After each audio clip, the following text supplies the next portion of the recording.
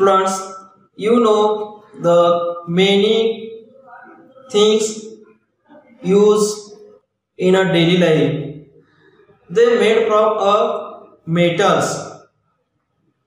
Today we are going to learn a properties of metals. Today we are going to learn a properties of metals. Students, look at these some metals. Copper, gold, iron, aluminum are called uh, metals. Metals are found in the form of minerals deep inside the earth. Minerals from the earth crushed are processed to obtain the metal. Look at these some metals. Students, properties of metals. First properties is metals is malleability. Malleability means when we hammering repeatedly, the wire becomes flat. From a thin sheet, metals can be converted into sheets by hammering. This property is called a malleability. Look at the second properties of metals is ductility. Ductility means metals can be stretched and drawn into wires. Metals can be stretched and drawn into wires. This properties of metals is called a ductility.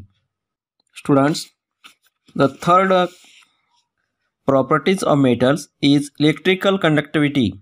Electrical conductivity means electricity flows through metals.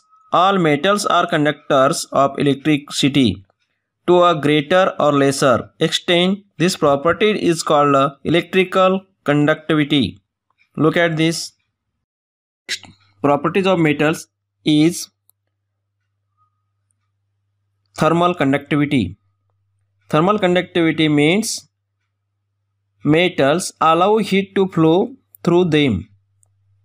Metals allow heat to flow through them. Its properties called thermal conductivity. Look at this how heat. Last properties is a luster.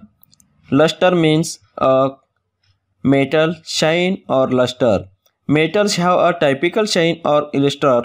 Luster. Every metal has a, a characteristic color by which it can be identified. Look at this. How to shine metals. Last is the sonority. Sonority means a metals making sound. Metals produce a sound making sound. It's called a sonority. Look at this.